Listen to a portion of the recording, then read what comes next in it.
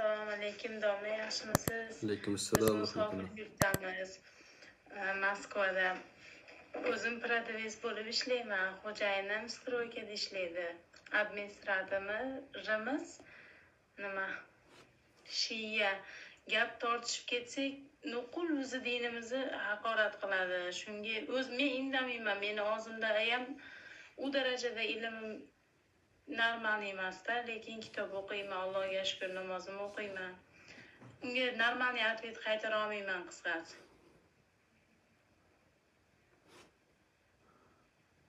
ho'p savol.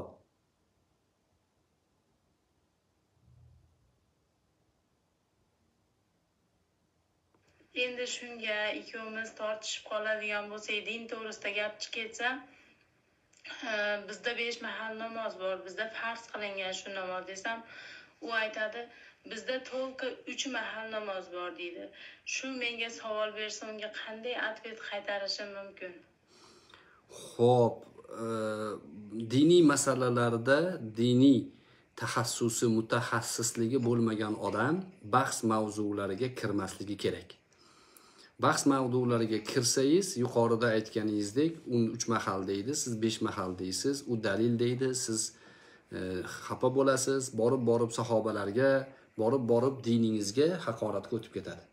alloh taolo qur'oni karimda vala tasubbulladina yad'una min dunillahi fayasubbulloha advan big'oyri ilm degan Allohdan boshqaga duo qiladiganlarni butlarini so'kmang degan alloh taolo bu bir misolda qur'oni karimni uslubi nimaga? Agar ularni haqorat qilib ularni butini ularni sig'inib turgan ideologiyasini so'ksangiz o'zingizdan o'zingiz. Keyin ular adovat bilan Allohni so'kadi. Ilmsizlarcha. Va shunga sababchi bo'lib qolasiz deydi.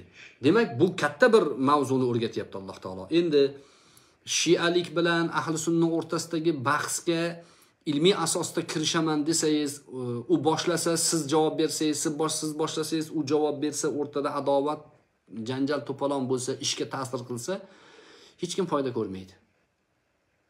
Lekin e, siz indamasangiz ham u sizni diningizni haqorat qilib sizga nisbatan e, ya'ni bo'lmag'ur gaplarni gapirsa u joydan uzoqlashish kerak.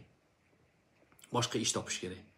Yo'q siz gapirmasangiz yoki sizga u gapirsa aytsangizki din masalasida tortishmaylik bizni ishimiz sotuvchilik seni ishing administratorlik men turmush o'rtog'im qurilishda biz musofirmiz.